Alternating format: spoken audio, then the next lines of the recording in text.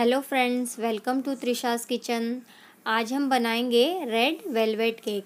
बहुत ही आसान तरीके से मैंने इसे बनाया है।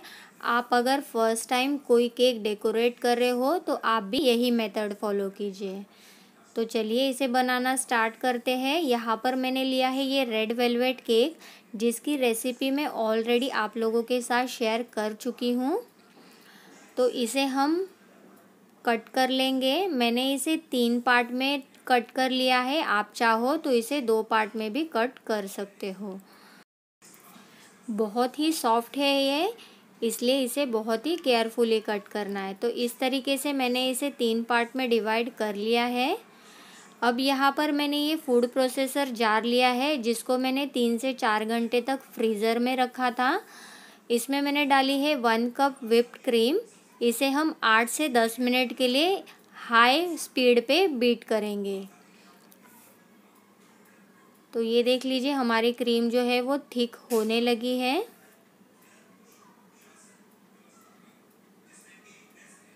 हमारी क्रीम रेडी हो चुकी है। इस जार को हम उल्टा करके देखेंगे। ये देखिए, बहुत ही परफेक्ट क्रीम बनी है।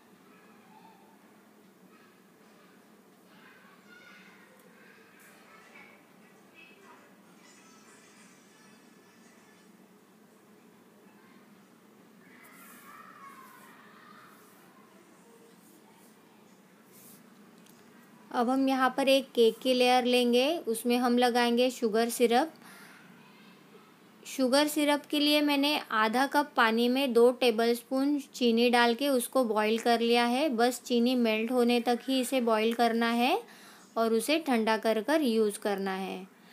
तो उसके बाद मैंने लगाई है ये विप्ड क्रीम विप्ड क्रीम को हम अच्छी तरीके से फैला लेंगे। अब हम इस पर केक की दूसरी लेयर रखेंगे। इसमें हम वापस एक बार शुगर सिरप लगाएँगे। शुगर सिरप हमें बहुत ही अच्छे से लगाना है ताकि हमारा केक जो है वो मॉइस्ट रहे। हमने इसमें क्रीम अप्लाई की है। क्रीम को केक के चारों तरफ़ से अच्छे से लगा देना है। एक थिक लेयर बननी चाहिए। अब हम केक की थर्ड लेयर अप्लाई करेंगे। थर्ड लेयर को हमें उल्टा करके अप्लाई करना है। उसका जो ऊपर का हिस्सा है उसे हमें नीचे कर देना है। और सेम प्रोसेस फॉलो किया है। पहले मैंने शुगर सिरप लगाया है, उसके बाद मैंने ये विप्ड क्रीम लगा दी है। तो इसको केक के चारों तरफ़ से हम लगाएँगे। अब मैंने लिया है ये पॉलीथीन, ये नॉर्मल पॉलीथीन है जो हमारे घर पे इजीली अवेलेबल होता है। इसमें मैंने एक केक नोज़ल डाली है। केक नोज़ल ज़रूरी नहीं है, लेकिन इससे आपके केक की जो थिकनेस है क्रीम की जो थिकनेस है, वो प्रॉपर रहेगी। तो इसे हम केक के चारों तरफ़ से इस तरीके से लगा लेंगे। अगर आपके पास केक नोज़ल ना हो तो आप पॉलीथीन को एक कट लगा लीजिए और उसकी मदद से भी आप क्रीम लगा सकते हो। अगर अगर आप फ़र्स्ट टाइम केक डेकोरेट कर रहे हो तो पैलेट नाइफ़ की मदद से फ़र्स्ट टाइम हम प्रॉपरली कर नहीं पाते हैं, उसका लेवल प्रॉपर हो नहीं पाता है तो इसीलिए ये जो है, ये बेस्ट ऑप्शन है। तो इसे इस तरीके से हम लेवल कर देंगे।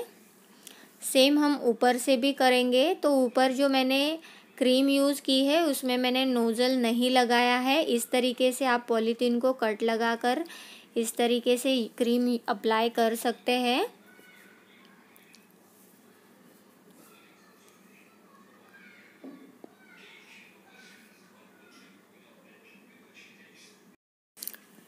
इसे भी हम केक स्क्रैपर की मदद से लेवल कर देंगे।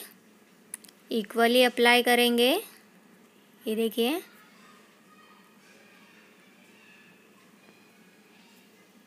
अब मैंने यहाँ पर एक जिगजैग वाला स्क्रैपर लिया है, जिसकी मदद से हम इसे साइड से इस तरीके से घुमाएँगे, जिससे बहुत ही अच्छा डिज़ाइन आएगा। और सेम शेपर को ऊपर की तरफ़ से हम जिगजैग मोड में घुमाएँगे।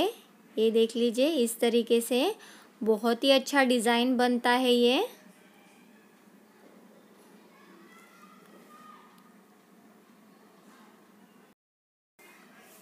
यहाँ पे मैंने लिया है ये रेड वेलवेट केक क्रम्स इसे हम ऊपर से छिड़क देंगे। ये केक क्रम जो है, मैंने रेड वेलवेट स्पॉन्ज से बनाया है। रेड वेलवेट स्पॉन्ज को मिक्सी में आप मिक्सी में हम चला सकते हैं या फिर हाथ की मदद से भी इसे क्रम्स बना सकते हैं। तो इसे हम साइड से भी अप्लाई करेंगे।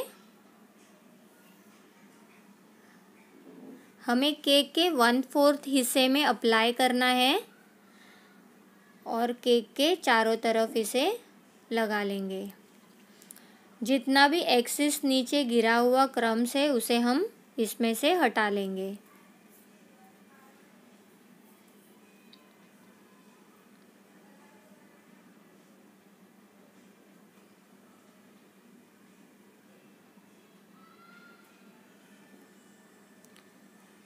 तो ये देख लीजिए, ये हमारे रेड वेलवेट केक का फाइनल लुक है। कितना सुंदर दिख रहा है ये, बहुत ही प्यारा बना है।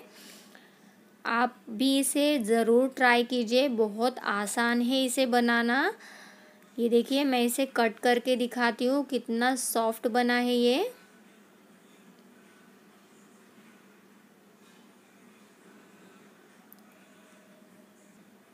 परफेक्ट रेड वेलवेट केक बना है, आप भी इसे ज़रूर ट्राई कीजिए। अगर आपको मेरी रेसिपी अच्छी लगी तो मेरी रेसिपी को लाइक कीजिए और मैंने चैनल को सब्सक्राइब कीजिए।